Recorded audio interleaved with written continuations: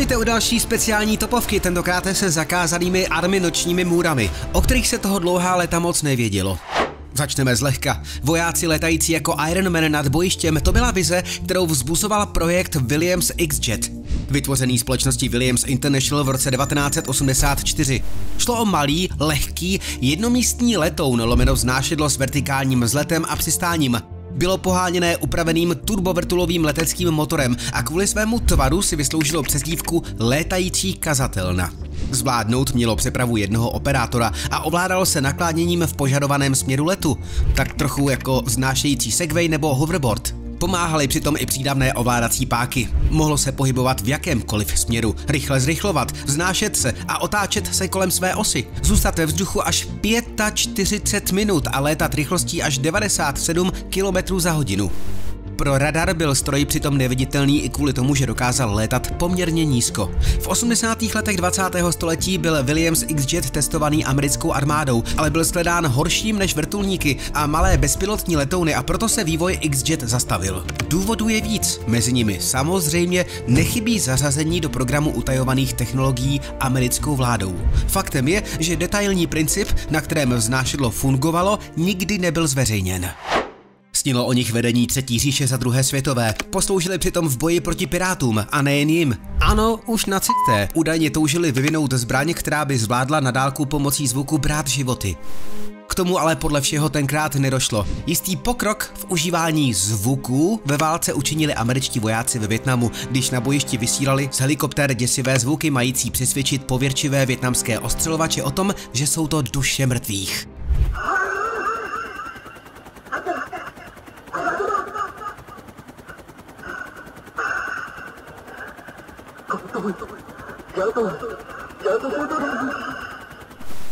Něco jiného ale jsou sonické zbraně typu LRAD, Long Range Acoustic Device. This is a test of a long range acoustic device LRAD. Relativně jednoduché zařízení vytváří jakýsi kužel velmi hlasitého zvuku v úhlu 15 až 30 stupňů, který je ale slyšet na kilometry daleko. Na krátkou vzdálenost kolem 5 metrů může způsobit trvalé ohluchnutí, na delší vzdálenost bolest a nevolnost. Člověk v těsné blízkosti se instinktivně bude snažit utéct z dosahu, případně padne na zem a zacpe si uši rukama. Proto se taky zbraním tohoto typu přezdívá akustická pouta.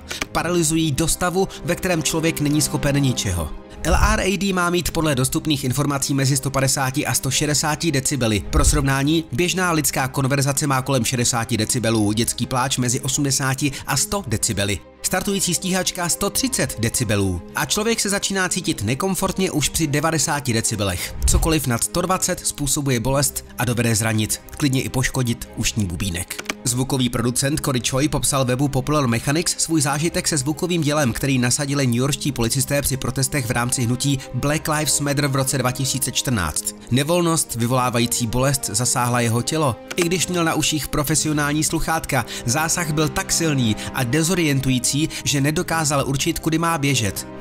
Úprava užívání zvukových zbraní v zákonech mnoha zemí chybí, přesto už byly takové zbraně používány i proti demonstrantům. Například celkem nedávno, v roce 2025 v srbském Bělehradě, lidé vyráželi do ulice vyjádřit svůj nesouhlas s vládou prezidenta Alexandra Vučiče. Na internetu se objevila videa, na kterých je vidět několika tisícový dav lidí držících v tichosti rozsvícené mobilní telefony. Náhle se začaly v panice rozebíhat do všech stran, jako by prostředkem projela neviditelná tramvaj a rozetnula dav vedví.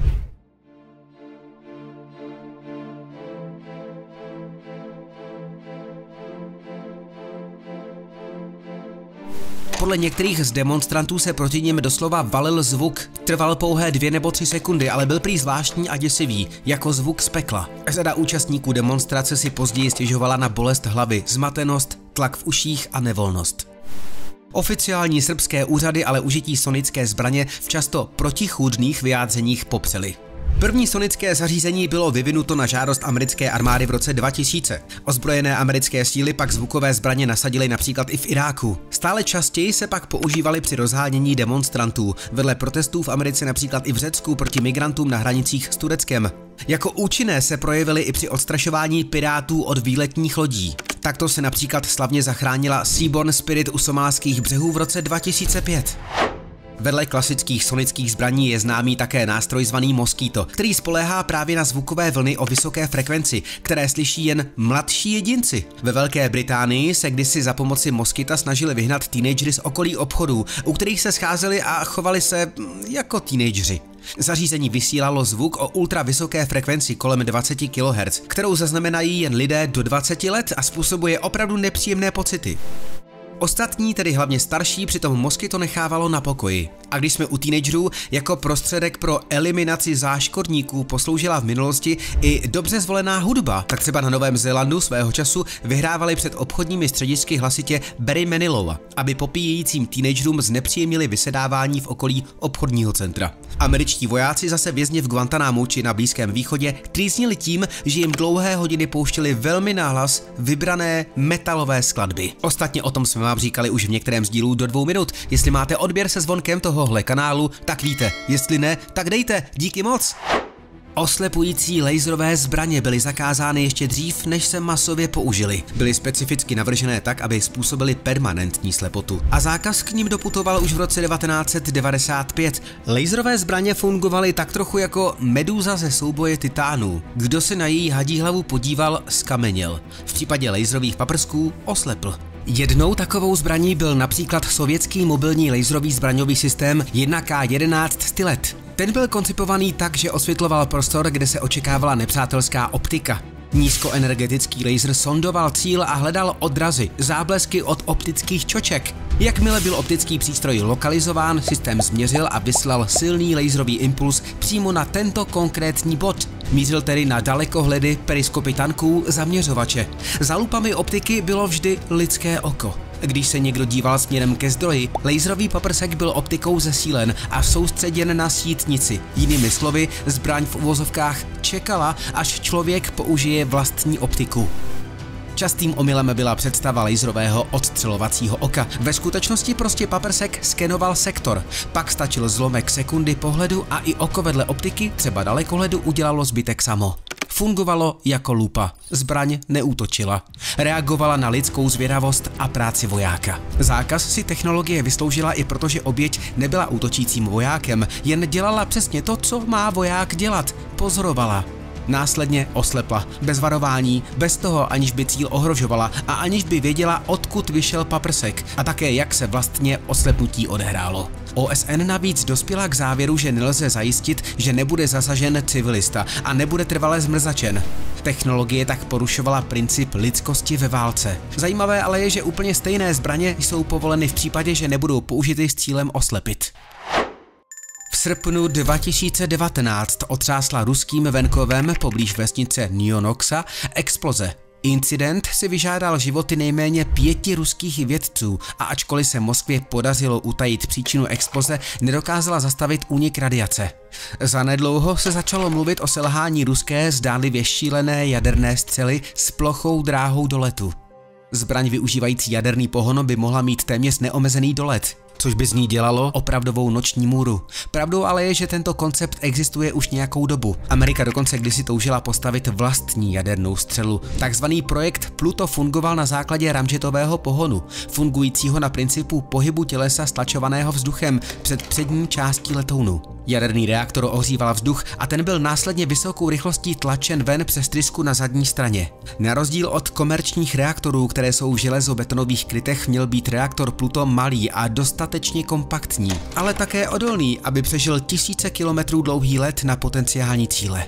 Jaderný motor mohl pracovat několik měsíců, takže řízená střela mohla zůstat ve vzduchu i po případném útoku. Za účelem dosažení rychlosti nutné k provozu náporového motoru měla být střela vypuštěna ze země s raketovými urychlovacími motory, boostry.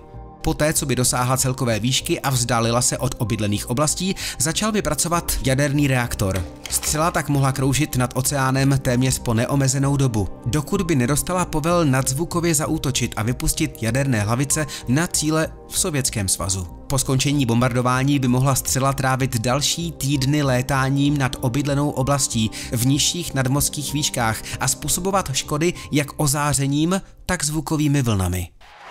Byla to jedna z nejstrašnějších zbraní větnamské války. Koktejl chemikálií Agent Orange, který dopadá na vývoj tamních dětí dodnes, má přitom český rukopis.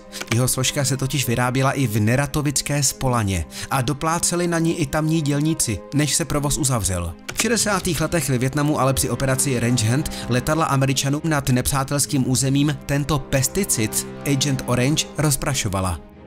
Tisíce tun chemikálií ničili pole s úrodou a likvidovali husté lesy, pod kterými se skrývali severovětnamští vojáci i jejich zásobovací trasy a základny. Pesticidy byly uskladněné a míchané na amerických leteckých základnách v jižním Větnamu. Na některých barelech přitom byl nápis Spola na Neratovice. Vojákům i deseti tisícům větnamských civilistů, kteří přišli s pesticidem do styku, naskakovali vyrážky a boláky. Později umírali na rakovinu nebo ztráceli plodnost. Podobné problémy postihovaly i samotné dělníky ve Spolaně. Zaměstnancům naskákali několika centimetrové boule, jenže vedení chemičky tehdy podle toxikologa dělníky obvinilo, že nepoužívají ochranné pomůcky. Provoz byl na čas uzavřen, vyčištěn a spuštěn znovu. Zdravotní problémy se však zaměstnancům vrátily. Navíc začalo docházet k častým úmrtím na rakovinu. Spolana musela podivné jevy vysvětlit. Díky informacím byly i hned uzavřeny i zasažené budovy ve Spolaně. V šatnách dokonce zůstaly osobní věci zaměstnanců na stolech jejich svačiny. Část provozu byla zakonzervována do betonového sarkofágu. Tak se zrodil malý český Černobyl. Kontaminovaný areál zůstal zakonzervován až do roku 2008. Podle toxikologa Miroslava Šuty se v archivech objevily zmínky o vojácích v chemických oblecích, kteří byli v kontaminovaných budovách. Prý tam vypouštěli králíky, kteří po krátkém pobytu v zamořeném prostoru onemocněli. Koncentrace jedů byly údajně i milionkrát vyšší, než je povoleno. Zabijácké dioxiny byly ve zdech, nábytku, papírech, prostě všude. Nikdo nevěděl, co se zavřeným zamořeným objektem dělat. Většina dioxinů je soustředěna v této budově. Aby kontaminovaný prach neunikl do ovzduší, bylo jí nutné celou opláštit. Všechny práce probíhají za mírného podtlaku pouze uvnitř. Nejdřív se z celé budovy odsál prach průmyslovým vysavačem, zlikvidoval se starý nábytek a všechny další pozůstatky po přítomnosti bývalých zaměstnanců. Poté se budou postupně odstraňovat instalace a staré strojní zařízení. Nakonec se musí otlouct omítky a budova bude cihla po cihle rozebrána. Dekontaminovat se budou i základy do hloubky 2,5 metru.